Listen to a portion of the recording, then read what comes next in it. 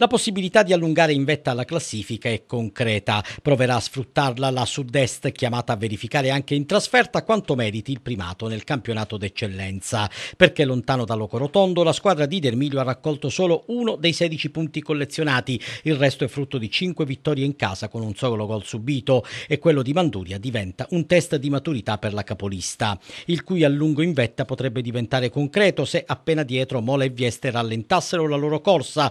Del resto per la squadra di Caricola c'è da fare i conti con lo Stuni, sempre più saldamente nel gruppo delle migliori, e i garganici di Olivieri affrontano l'ambiziosa Liberta Smolfetta, anticipando anche i temi della semifinale di Coppa Italia, in programma nel doppio turno di andata e ritorno a novembre.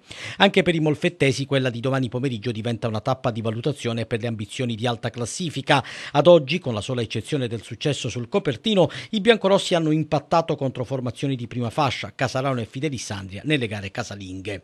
Se quelle di Mola e Molfetta sono anche le gare più interessanti della nona giornata, per somma di punti in classifica, è a Francavilla che si gioca l'incontro di cartello. La Virtus e la Fidelissandria si portano dietro i favori del pronostico per la vittoria finale del campionato, ma intanto arrancano al centro del gruppo e vivono questo scontro diretto come una sorta di spareggio. Chi lo perde rischia di allontanarsi troppo dalla vetta senza però compromettere la stagione.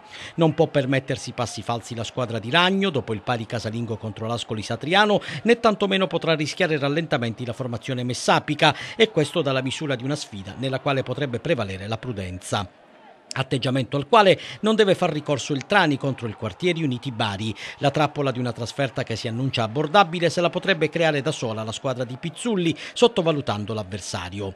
Il turno si annuncia agevole sulla carta per il Casarano contro il Copertino e il Gallipoli che ospita il Francavilla, mentre il Galatina rischia Massafra. Punti salvezza sono in palio tra Ascoli Satriano e Castellaneta.